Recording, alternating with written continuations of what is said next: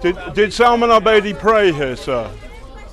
Sir, did Salman Abedi pray here? He did attend this mosque.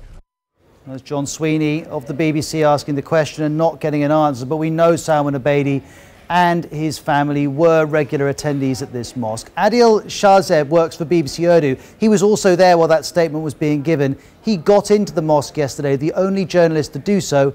Here's how he did it.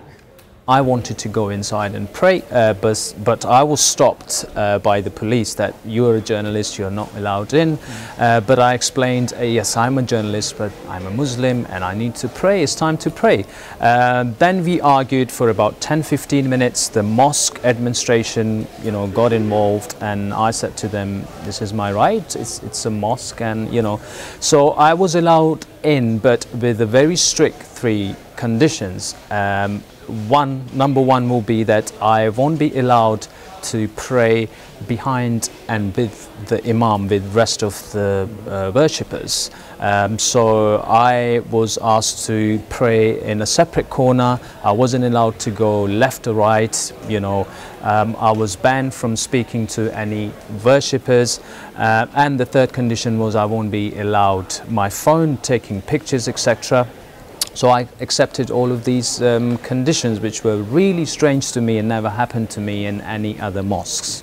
So you weren't able to converse with any of the people inside? No, I wasn't able to uh, speak to them. I wasn't able to find out what happened, uh, the way mosques work. It, it was one of those kind of mosques which was really organized and it seemed very well controlled.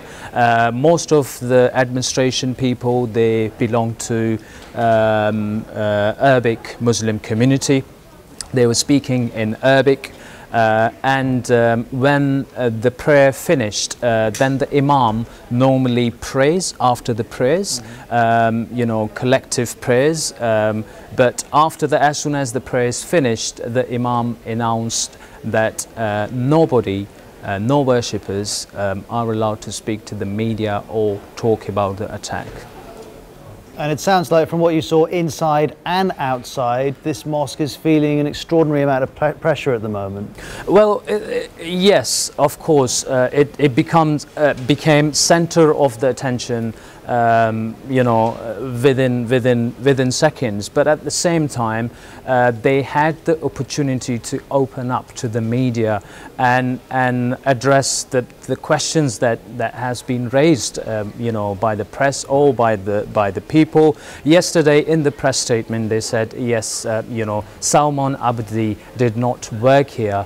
Uh, okay, fair enough, but people want to know whether, you know, those reports that his younger brother was teaching a Quran uh, in the same mosque and his uh, father was well known to you know rest of the worshippers as well. They did not deny any of those uh, you know reports. And people really wanted to know. But this mosque in particular I think uh, they've lost an opportunity um, to, to, to explain how things work and what Islam and Muslims are about. And that is the end of this edition of Outside Source. Thanks for watching. We'll see you next week. Bye bye.